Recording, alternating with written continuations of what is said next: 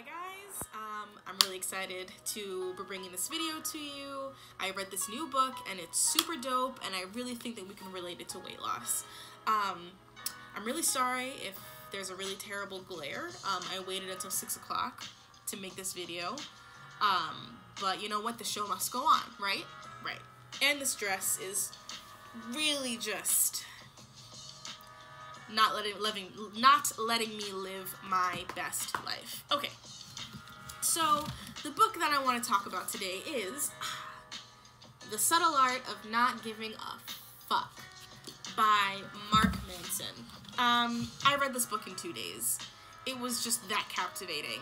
Um, it's really about, you know, cutting away at the things that are not as important to you so that you can focus on the things that are really really matter and that are worth struggling for to achieve and that's how you know true happiness um, happens you know and i think that's really cool and it's totally related to weight loss.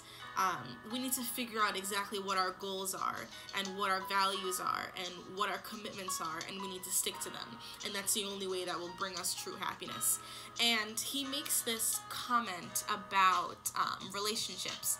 So, if your boyfriend or girlfriend, you know, cheats on you, which is terrible, um, and you take them back, you know, it's not enough for your boyfriend to say, or girlfriend, not saying that only men cheat, um, it's not enough for your boyfriend or girlfriend to say, you know, I'm sorry, I won't do it again, I was weak, and, you know, I couldn't help it. You know, because for the rest of you, her or his life, that you, or for the rest of the relationship, this is what's going to be happening. It's worth, it, it's worth the effort of this. The girlfriend is going to be creeping on your Facebook trying to find out what you're doing. Is that really worth it? Is it worth it for the girl? The relationship turns into a, a burden, you know? So, what the person has to do is tell the person who they cheated on exactly why it is that they cheated and what their values are why why is it that their values aren't aligning with you know having a successful committed relationship maybe their values don't align. Maybe they don't really care about the commitment. Maybe they care way more about instant pleasures than they do about long-term you know happiness. And maybe that's how you know that you guys need to break up. So I'm gonna relate this to weight loss. If you make a promise to yourself, if you commit to yourself that you're gonna live a healthy lifestyle, and you continuously, continuously cheat on your diet, it's gonna be really difficult for you to start the diet again the next day because now you don't even trust yourself. You don't trust that you mean what you actually say um, and you think something is inherently wrong with you and then you just give up because you say you know what? I just can't do it. I just can't give up meat. I can't give up dairy. I can't go exercise every day. You start to give up on yourself you know? Like i just don't trust what i say that i'm gonna do. But instead of instead of just making excuses and wallowing in why you're not good enough why don't you sit down and say you know what? What are my values what are the things that I want to commit to in my life? What are the things that I know that I need to give up in order to achieve my goals? You know, um, if my value, if one of my values in life are for health and exercise and excitement and whatever the case may be, then, you know,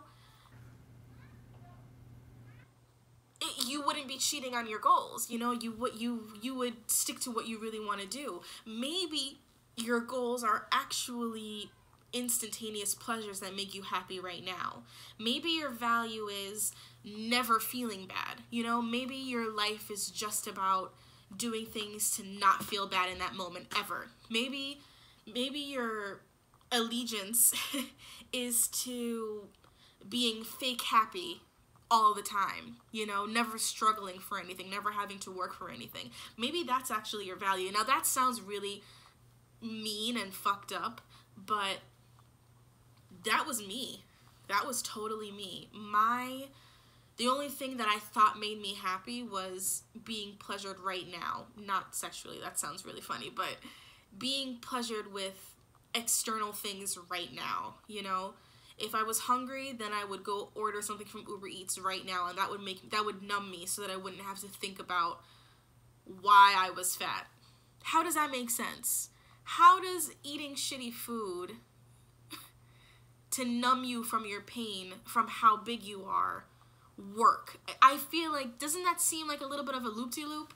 You know what I mean? Like you really got to sit down and ask that boy that cheating boyfriend, listen, what are your values? It doesn't make sense for us to continue this relationship if I don't know if commitment is something that's important to you. Is weight loss is is commitment important to you? Is it really what you truly want? If it's what you actually want, then it's never going to come easy. You're never going to lose 50 pounds in 5 months. It's just it that's not that shouldn't be the goal. The goal should be working through the struggles and living in the process, in the now and even if the process is difficult, that's the fun part, you know? That's conquering that is what truly will give you happiness, you know? Cut away the things that you shouldn't be caring about so that you can focus on that thing that makes you happy. Lessen the fucks that you give. In this life, we have a lot of fucks that we could possibly give. and one must, Confucius say, that one must cut away the fucks so that each fuck that you give is extremely, extremely important to you, and your actions will therefore follow suit. Nobody said that. I just made that up on the spot, but it sounds like something that a super hip Buddha would say. You know what I mean?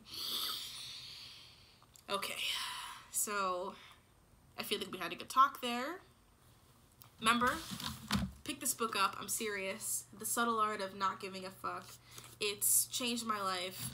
Um, I no longer, I no longer worry about things that don't matter.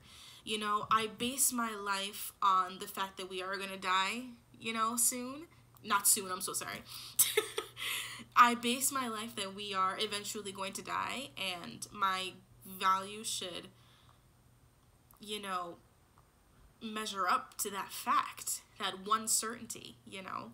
What's important to me? What's important to me is my family, my friends, honesty, and health.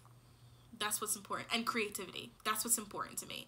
And everything else that doesn't line up with those factors, I don't give a fuck about. If you agree, if you like this video, please give this a thumbs up and subscribe. I hope this helped.